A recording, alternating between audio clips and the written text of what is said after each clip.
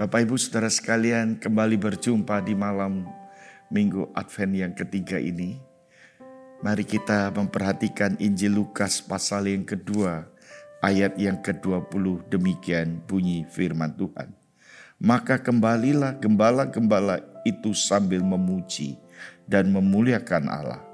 Karena segala sesuatu yang mereka dengar dan mereka lihat semuanya sesuai dengan apa yang telah dikatakan kepada mereka. Saudara-saudara, kita masih sangat merasakan kehidupan yang begitu menegangkan.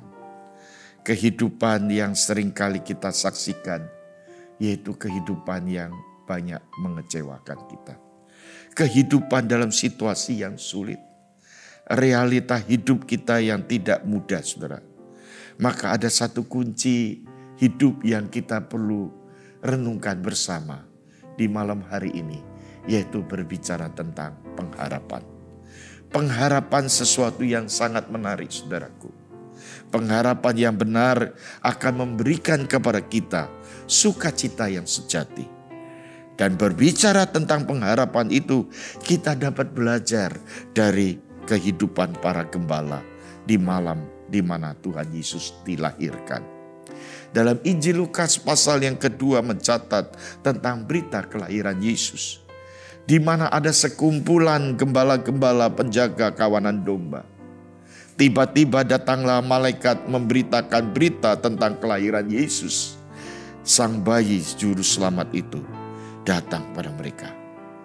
Saudara-saudaraku setelah dan sesudah malaikat itu pergi, para gembala pun segera meninggalkan tempat itu untuk pergi menyaksikan, melihat bayi Yesus. Mereka ada di tengah-tengah perjalanan menuju menyambut bayi Yesus. Mereka setelah bertemu dengan bayi Yesus, dikatakan oleh Alkitab di sini, mereka harus kembali ke dalam kehidupan mereka sehari mereka kembali ke dalam situasi yang sama. Menggembalakan domba-domba. Menjaga kawanan domba di padang belantara yang gelap.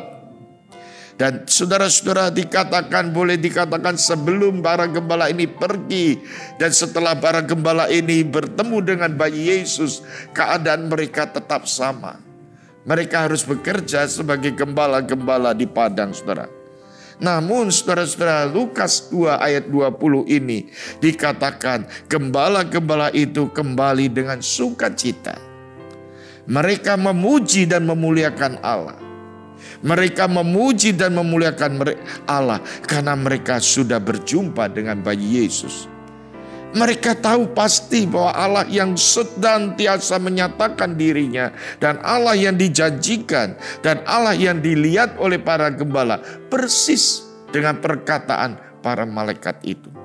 Saudaraku yang dikasih Tuhan, janji kedatangan yang sang juru selamat itulah yang membawakan sukacita, pengharapan yang sejati. Kegelapan masih mereka rasakan Pekerjaan masih mereka harus kerjakan. Hari-hari mereka masih tetap sama. Namun ada satu hal yang berbeda di mana hati mereka berbeda saudaraku. Karena mereka sudah bertemu dengan bayi Yesus sang juru selamat itu. Saudara-saudara kita hidup di dalam dunia selalu menghadapi kegelapan saudara-saudara. Sebagai orang percaya, orang beriman, kita ada di dalam kehidupan yang di dalam dunia yang berdosa ini. Kita sama ada di dalam dunia yang berdosa. Tetapi ada yang membedakan di dalam hidup kita. Yaitu ada sukacita. Ada pengharapan. Saudara-saudara, para gembala juga melihat hari-hari depannya yang tidak menentu situasi-situasi yang tidak terduga mereka juga harus hadapi. Hari ini kita menghadapi situasi-situasi yang tentunya sering kali mencemaskan kita. Yang menjadi pertanyaan yang penting bagi kita. Adakah kita seperti gembala-gembala yang sudah berjumpa dengan bayi Yesus?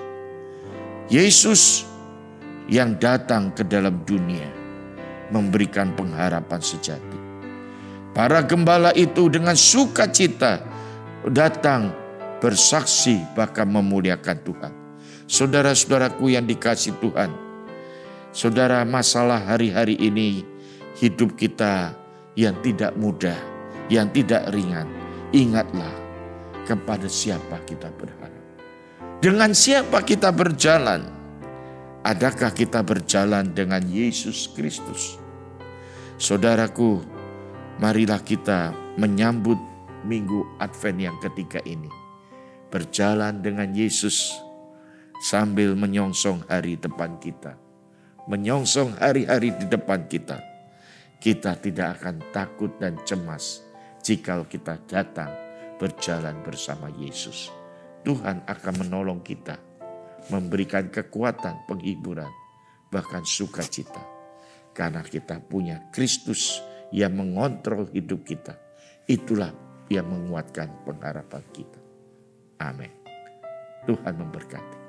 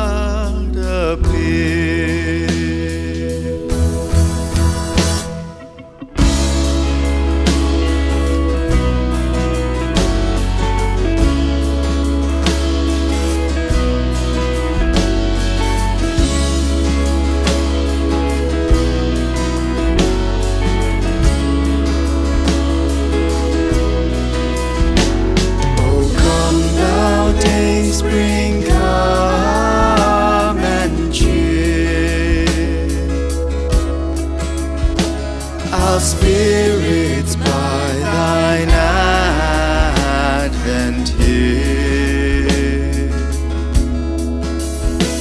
Disperse the gloomy clouds of night and death's dark shadow.